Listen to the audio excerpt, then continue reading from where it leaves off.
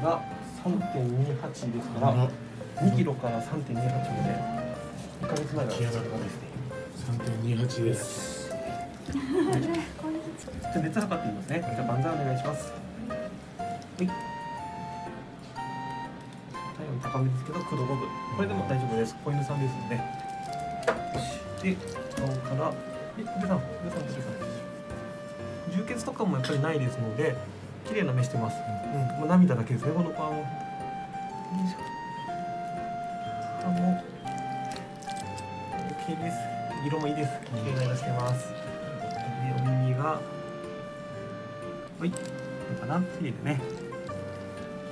いいですね。これぐらいでもいいと思います、お母さんは耳トラブル多いので、時々こうます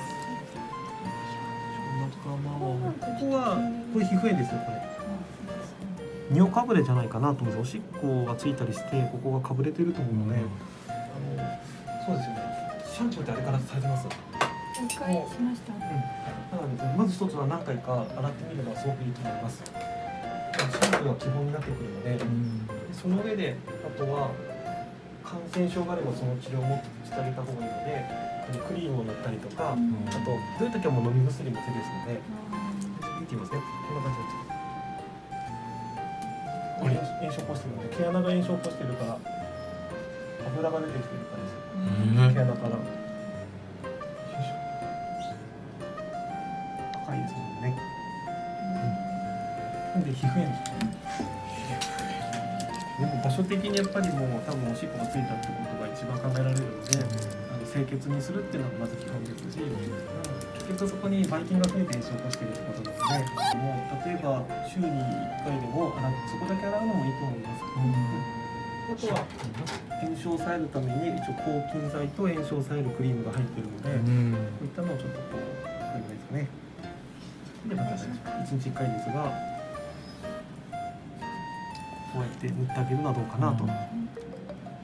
擦れる足とか脇とか体の中心部っていうのは感染症になりやすいので。あとはあのアレルギーだったら粘膜の境界部分が今度皮膚炎を起こしやすいですから目とか鼻とか耳とかお尻とかそういうのもやっぱりなりやすいかなと思います。ね。よし。これいこうか。はい。はい、とても綺麗な音しております。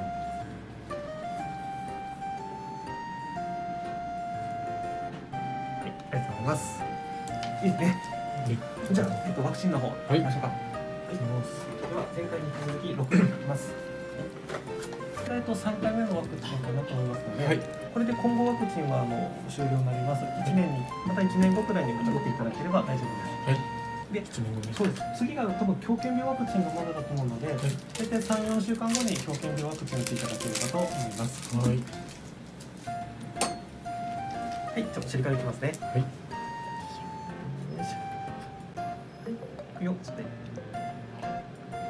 おしまいです。偉かったです。お疲れ様でした。お疲れ様です。じゃあこれで。